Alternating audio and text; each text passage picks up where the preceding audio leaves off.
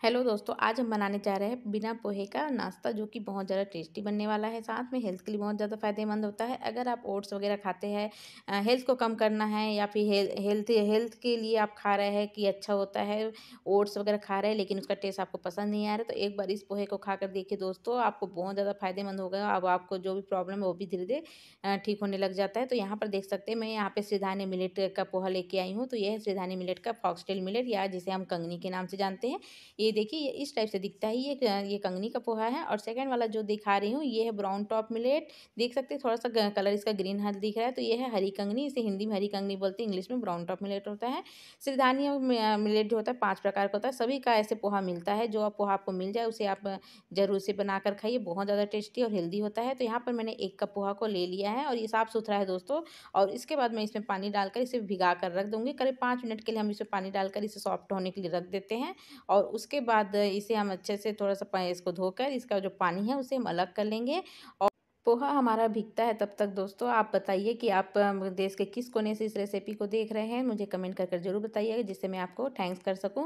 हमारा आज का पहला थैंक्स जाता है सागर साहू को, जिन्होंने कमेंट किया था, वो है छत्तीसगढ़ से। तो ऐसे ही आप भी कमेंट करिए, आपका भी नाम ज़रूर वीडियो में आएगा। तो चलिए दोस्तों, अब इसे हमने पानी से अलग कर दिया है और पाँच मिनट भिगाने के बाद हम इसे पानी से ऐसे अलग कर देते हैं और पानी को ड्रेन होने देते हैं। और बहुत ही, देखिए देखिए दोस्तों थोड़ा सा फूल गया है ये। आप देख सकते हैं दोस्तों, पहले एकदम कम था क्वांटिटी अभी फूल कर ज़्यादा हो गया है। यहाँ पर मैं दो प्याज और एक आलू और हरी मिर्च ले ली हूँ और उसके बाद यहाँ पे मैं थोड़ा सा तेल गरम करूँगी। सनफ्लावर ऑयल, कच्ची घानी का मैं यहाँ पे गरम कर रही हूँ। आप चाहे तो कोई भी तेल यहाँ पे इस्तेमाल कर सकते हैं। और इसके बाद दोस्तों यहाँ पर जब तेल अच्छे से गर्म हो जाए थोड़ा सा काजू को मैं हल्का सा इसमें भून कर निकाल लेती हूँ, जिससे कि इसका टेस्ट बहुत अच्छा आएगा, क्रंची भी लगेगा और बच्चे के लिए बहुत अच्छा भी होता है। बच्चे हो चाहे सभी के लिए अच्छा होता है। यहाँ पर अब मैं थोड़ा सा फल्ली को भी ऐसे ही रोस्ट करके निकाल लेती हूँ। फल्ली भी बहुत अच्छा होता है खाने के लिए तो फल्ली और काजू मैं यहाँ पे इस्तेमाल कर रही हूँ। आपको जो पसंद है वो आप यहाँ पर इस्तेमाल कर सकते हैं, दोनों कर सकते हैं या फिर कोई भी एक कर सकते हैं। इसे मैं भून कर निकाल सकती देती हूँ और उसके बाद इसी तेल में हम पोहा को बनाएँगे तो देख सकते हैं तेल हमारा बचा हुआ है। इसी में अब हम थोड़ा सा जीरा डाल देंगे और जब जीरा अच्छा तड़कने लग जाए तो हम यहाँ पे जो मिर्ची हमने चीरा लगा के रखा था उसे डाल देंगे। चाहे तो आप मिर्ची को कट कर कर भी डाल सकते हैं। मैं इसे ऐसे खड़ा खड़ा इसलिए डाल रही हूँ दोस्तों कि तीखा ना हो जाए। जिसको तीखा पसंद नहीं है तो उसको आप मिर्ची ना दे और जिसको तीखा पसंद है उसको अलग से मिर्ची आप दे सकते हैं। तो इसलिए मैं मिर्ची को यहाँ पर भुनकर निकाल ली हूँ। यहाँ पर देख सकते हैं प्याज डाल दी हूँ, आलू डाल दी हूँ और मीठा पत्ती डाल दी मतलब कड़ी पत्ता डाल दी हूँ और थोड़ा सा मेरे पास मटर भी है तो मटर भी डाल दी हूँ। इसमें से आपके पास जो भी आप वहाँ पर डाल सकते हैं और सभी को अच्छे से भून लेंगे। भूनने के बाद यहाँ पर मैं डाल देती हूँ हल्दी और नमक। दोनों डालने के बाद